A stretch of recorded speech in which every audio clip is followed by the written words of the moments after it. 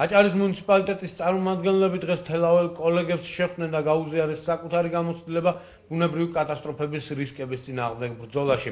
შეხვედრას ესწრებოდნენ არასამთავრობო ორგანიზაცია ოქსფამის წარმომადგენლები ეს ორგანიზაცია აჭარის მოსახლეობას ეხმარება მსგავსი პრობლემების გადაწყვეტაში. როგორც შეხვედრაზე აღნიშნეს, გამოცდილების გაზიარება სხვადასხვა მუნიციპალიტეტებს შორის კვლავ გაგრძელდება. თელავის მუნიციპალიტეტში კი შეირჩა სოფელი კურდღელაური, სადაც ჩატარდება ღონისძიებები ბუნებრივი კატასტროფების წინააღმდეგ საბრძოლო მოვლენად. ძალიან საინტერესო შეხვედრა მიმდინარეობს თელავის მუნიციპალიტეტში ბუნებრივი კატასტროფების პრევენციისა და თავიდან აცილების მიმართულებით.